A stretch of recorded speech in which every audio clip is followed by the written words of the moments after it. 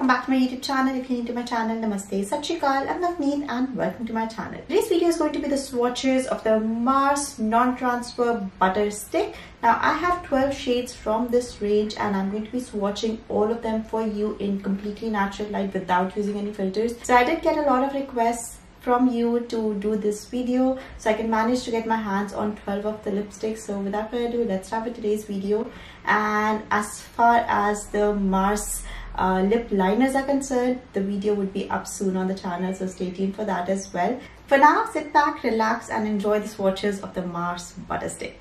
So let's begin the Mars Non-Transfer Butter Stick lipstick comes in 24 shades. It has a color-coded cap and the bottom mentions the name of the lipstick. It also mentions the expiry date on the tube itself, which is very convenient. You do get 3.5 gram of product. The expiry is till 2026, which is a good three and a half years. And you do get the beautiful formula which is non-transfer, non-sticky and glides like butter on the lips so it's very easy to apply and it settles down into a semi matte finish within a minute or so. It does not take a lot of time to settle into a matte finish which is pretty nice and you do get a beautiful amount a kick of pigment in the lipstick. It's very pigmented super duper pigmented and it definitely lasts you for 4 to 7 hours on your lips depending on what you eat. If you have very oily meals it would uh, come off from the centers but otherwise it is completely smudge proof. As you can see non-transfer and also it's very difficult to remove. Even if i'm using a wet wipe you have to use some oil based cleanser to get it off from your lips. Formula is completely cruelty free 100% cruelty free 100% vegetarian. And also it is completely indian brand. I love watching indian brands come up with beautiful formulations and beautiful textures of lipsticks which are long staying mars is doing such a wonderful amazing job. It has a carved a niche of itself in the Indian beauty and cosmetic market, which I'm super proud of. So these lipsticks are just what you want for a nice, comfortable, pigmented and matte formula. So if you are willing to purchase, all the links would be in the description. So do check them out. And for now, just enjoy the swatches. Let me know which one would be your favorite from among those I've swatched so i have uh, 12 shades but you can of course check the other 12 shades from the website as well. So yes enjoy